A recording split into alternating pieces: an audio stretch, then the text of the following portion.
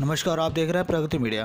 पंजाब के पठानकोट चार बल्ला रामनगर में श्री राम जानकी नाटक क्लब द्वारा आयोजन किया गया था। इसमें विशेष मेहमान सुशील सैनी, अश्विन सैनी, योगेश ठाकुर व अमित मित्तू भी रहे थे। इसमें मेंबर में विशाल शर्मा, जतिन शर्मा, बिल्ला मुन्ना, शैली, ऋतिक सजन, कुणाल आदि मेंबर भी कुछ रहे थे। यह आयोजन बड़े धूमधाम से किया गया था जिसकी वीडियो आप आगे की वीडियो में आप देख सकेंगे। रामचंद्र महाराज की।